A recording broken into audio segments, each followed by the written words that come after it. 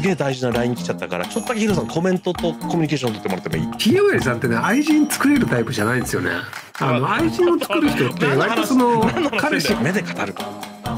あヒロさん俺の目見ろ。ヒロさん俺の目見ろ。ひげさんはあと何して食べられるの？あ俺ねでもね正直言うけど俺多分あの小豚ちゃんより早く行くんじゃねえかなという心配が最近強くて。はいはいはい。うんちょっとポルノ的な。うん。でもヒロさんちょっとだけごめん。ちょっとだけごめん。すげえ大事な LINE 来ちゃったからちょっとだけヒロさんコメントとコミュニケーション取ってもらってもいい？はいわかりましめちゃくちゃ嬉しくてちょっと大事な LINE が来ちゃったんでごめんあもう好きにやってください。ほんとごめんただ別にあの全然しげさんの LINE 好きにやっていいんだけどさその100日以内に「俺死ぬわ」って言っといてオチなしで言っちゃったからそこが気になるんだよね。まあ、というわけであのでもヒゲさんのチャンネルのコメントってさ基本的にはヒゲさん好きな人でしょ？だから僕相性悪いと思うんだよね。なんかそのデブを見ててなんか面白いと思っちゃう。でヒゲさん基本的にそんなに面白い話しないわけじゃないですか。だから多分面白い話をしない方がウケるっていうそういう状況になんかあの飼われてる方々なのでなんかそのタイプの人何していいのかわかんないんでコメント愛人から。まあ大事な LINE だわなそれは。愛人から来たら。でも多分ひげおやじさんってね愛人作れるタイプじゃないんですよね。あの愛人を作る人って割とその彼氏彼女に対してこういうことをしましたとかそのじゃあ愛人にはこれプレゼントして彼氏彼女にはこれプレゼントしたとか映画はこれを見たとか一応状況設定をちゃんと記憶して分けて対応しなきゃいけないんですけどひげおやりさんってそこまで記憶より大きくないのですぐバレると思うんですよね。要は、え、だってこの映画見たじゃんって言って、あ、これ愛人と見たやつだってなるパターンっていう。っていうのがあるので、なかなか愛人作るのはできないんじゃないかなと思いますけど。やるとしたら多分あの、一回きりタイプですね。なので、あの、なんか出会い系サイトとかでこう、プロフィールとか偽って、で、あたかもなんかあの、成功してるタレントひげ親父ですみたいな感じで、こう、一回だけなんとかして、で、それでバレて、まあ、愛想をつかされるみたいな。っていう形ぐらいしか彼はできないんじゃないかなと思うんですけど。あとあるパターンだと、まあお金で解決っていう、その愛人じゃなくて、もうそのひたすら会うごとにこうお金を払っていくっていうので、その愛人って割とそのプレゼントをあげたりとか、なんかレストランで一緒に食事に行ったりとかって人間関係を維持しながら、まあ、他になんかプラスアルファのオプションがついてきますみたいなんですけど、まあ、そういうんじゃなくて多分あの、その時にお金払って、はい、終了。お金払って、はい、終了っていう、こう、いや、あの、いや、あの、一回ずつのやつが、こう、定期的に続くみたいな、そういうタイプのだったら成立するんじゃないかなと思うんですけど、それ以外はなかなか、医療衛さんが愛情を囲うのは難しいんじゃないかなと思いましたけども。まず俺のこと好きになってくれる人がおらんのよ西村君うん、生々しい。うん なんかほら、さっきの流れだとさ、うん。君が言ったことに、いやいやって僕が反論するとか、うん。僕が言ったことにいやいやって反論するなんだけど、うん。ひよえさんのことを好きになる人がいないよって言われて、うん、そうだねって、こう話が終わると思ってどうしていいのか分かんないんだけどさ。いやいやいやいやでいいじゃないの今のって。いや人のことはヒゲさんだってモテるよ。ほらこんなエピソードがとかっていうさ、ヒゲさんの俺魅力3つお願いします。私は5個言えますって言うけど、書いてないんだよ、このスパチャ。嘘だもんだって。5個書けよ、じゃ5個 は結構ハードル高いぞ。ひよえさんは同じ映画、同じプレゼントをするから大丈夫。ひよえさんはね、バカだからね、うん。企業からもらったノベルティとかあげちゃうんですよね。1個しかないようなやつ。うんそりゃそうだよ。だって君にために持ってきたからねみたいな。コメントで5個もあるわけないよ。5個は持ったな。と5個は持ったあなじゃあったヒゲさんのいいところ。え何何何？カレーを美味しそうに食べる。あオッケーあそしたら5個いけるね。俺とんかつもいけるもんそしたら。うん。ごめんごめん。とんかつとカレー以外は美味しそうに食えないの？いやいやいやだ俺から。そっちの方が見たいわ。いけるけどなんだなんでも言ってくれれば。ラそうめんとかもね。でもさヒゲさんさ別に美味しそうに食わないじゃん。淡々と口に運ぶじゃん。あーヒロさん分かってる。俺のテクニックが見えてないね。テクニック？飯を食うのに？うまそうな見せちょっ方ってのはと聞かせてもらおうかじゃあ。何がね、はいまずねあのねた食べ物はこう目線に合わせてねこうやって。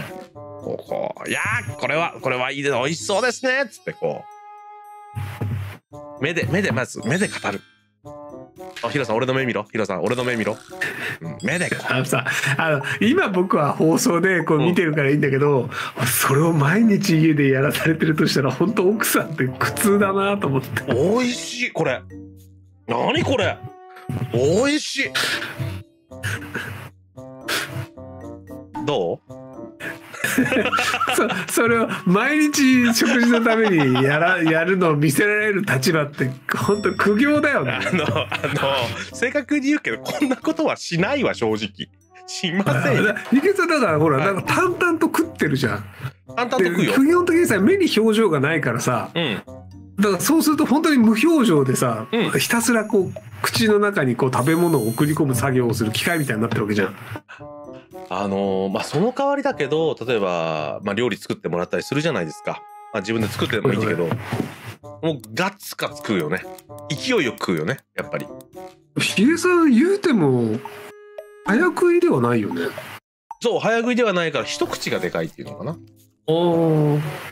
でこうバク例えばあのペヤングのさでかいやつ？あはいはい。乾燥重量で 800g あるやつ。あ無理無理あれは。あんな。ヒゲさんでも無理なんだ。